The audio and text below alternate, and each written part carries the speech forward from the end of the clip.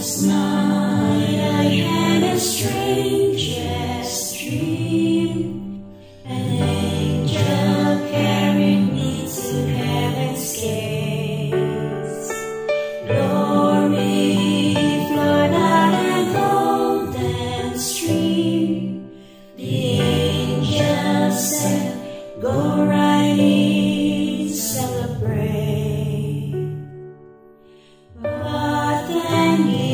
angel asked me what if Jesus wasn't there?